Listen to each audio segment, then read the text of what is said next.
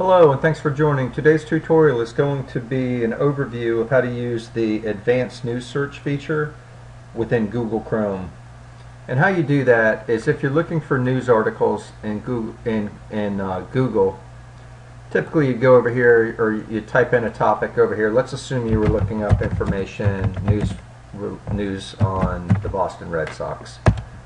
So you go type it in and then you click the news link and it would give you all the recent news and so you can see this one was four hours ago six hours ago and so forth.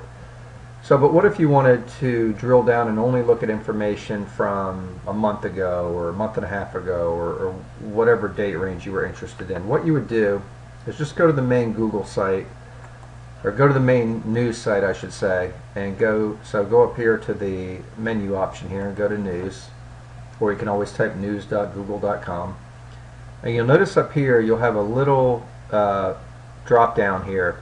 And if you ho hover over it you'll see it'll say advanced news search. Go ahead and click it.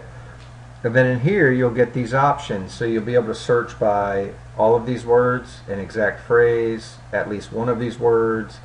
Um, then you have options right to search whether you want to find that information in the article and just in the headline or in the body or in the URL and then you can er, look at it by date range and you can also look at um, by source or by location. So let's do the Red Sox example again.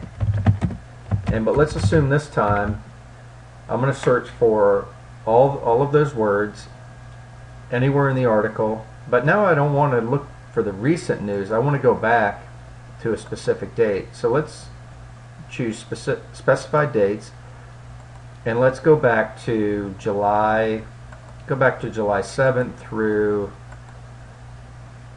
July 9th. And I'll leave the source empty for right now. Then I click search and you see what will happen. Now I get news articles from that date range. And so it's very flexible and a lot of times it's hard to find the old articles so this will give you the ability to do that. The other thing is now that you've now that you've done that you can click over here and you can click that down arrow there on the date range and you can change it to any time or past week. So you can or you can click on custom date range again and it'll let you go in there.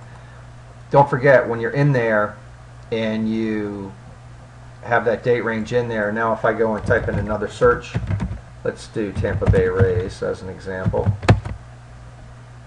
I'm still filtering on July 7th through the 9th so what you can do is just go back to the main news site and it should default back to the the basic settings. So another thing that I wanted to share with you is I'm going to go back into advanced search and this time we'll do an example of an exact phrase. So David Price was a pitcher who was traded. So I'm going to type in David Price trade and then I am going to search for date added. I'm going to go ahead and just say the past month in this case but you could do the uh, specific dates or however you want to and then click search. And there you have the articles that have that exact phrase in there. So as you can see there's lots and lots of options there. Hope this helps. Take care. Thank you